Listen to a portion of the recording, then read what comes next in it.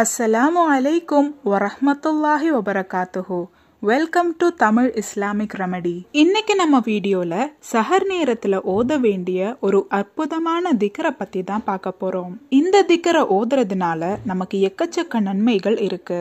இமாம்கள் அவங்களோட தஃசீர்கள்ல பதிவு செய்த ஒரு திக்கர் தான் இது. இந்த திக்கரை ஒரு முறை ஓதுனா அல்லாஹு தாலா ஆயிரம் நன்மைகளை நம்ம ஏடுல எழுதி வைக்க சொல்லி மலக்குமார்களுக்கு கட்டளையிடுவான். அதே போல நம்ம செஞ்ச ஆயிரம் தீமைகளை அல்லாஹு தாலா நம்ம ஏடுல இருந்து நீக்க சொல்லி மலக்குமார்கள் கிட்ட கட்டளையிடுவான். அதாவது நம்ம செஞ்ச ஆயிரம் பாவங்களை அல்லாஹு தாலா மன்னிப்பான். அதோடு சேர்த்து சுவனத்துல நம்ம தரஜாவை ஆயிரம் மடங்கு அல்லாஹு தாலா உயர்த்துவான். பூமிக்கும் ஆகாயத்துக்கும் எவ்வளோ தூரம் இருக்கோ அவ்வளோ தூரம் ஒரு தரஜா.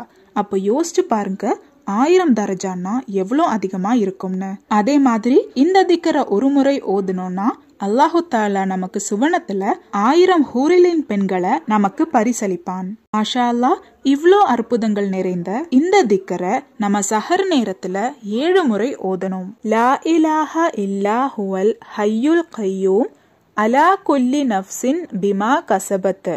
இந்த துவாவோட அர்த்தம் வணக்கத்துக்குரியவன் அல்லாஹு தாலாவை தவிர வேற எவரும் இல்லை. நித்திய ஜீவியும் என்றென்றும் நிலைத்தவனான அல்லாஹு தாலாவே ஒவ்வொரு நப்சின் செயல்களையும் கண்காணிப்பவன். இன்ஷா அல்லாஹ் இந்த திக்கரை நீங்களும் ஓதி உங்க குடும்பத்தினர்களுக்கும் கற்றுக் கொடுங்க. அதற்கான கூலிய அல்லாஹு தாலா நாம எல்லாருக்கும் தந்து அருள் புரிவானாக. ஆமீன்.